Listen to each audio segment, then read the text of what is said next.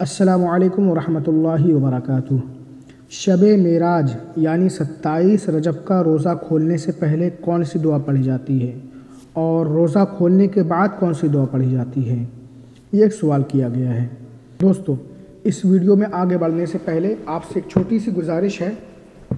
अगर आप हमारे चैनल पर नए हैं या अभी तक आपने हमारे चैनल को सब्सक्राइब नहीं किया है तो सब्सक्राइब करें और बेल आइकन ज़रूर दबा दें। रोज़ा खोलने से पहले आप बिसमिल्लाहि वाला बरकतिल्ला ये दुआ पढ़ें। अगर ये दुआ आपको याद नहीं है तो बिसमिल्लाहिर्रहमानिर्रहीम पढ़कर रोज़ा इफ़्तार कर लें। खजूर से इफ़्तार करें, अगर खजूर नहीं हो तो पानी से कर लें। रोज़ा इफ़्तार करने के बाद आप ये दुआ पढ़ें, अल्लाहुम्मा इन्नी लका सुमतु वबी का आमातु वाली का तवक्लतु वाला रिस्क का अफ्तरत। अय अल्लाह मैंने तेरे लिए रोज़ा रखा, तुझ पर ईमान लाया, तुझ पर ही भरोसा किया, और तेरे ही अता किए हुए रिस्क से मैंने इफ़्तार किया, यानी रोज़ा खोला।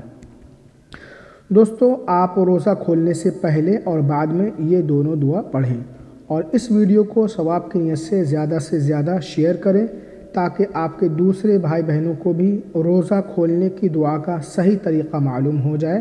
असलकम वरहमल वर्का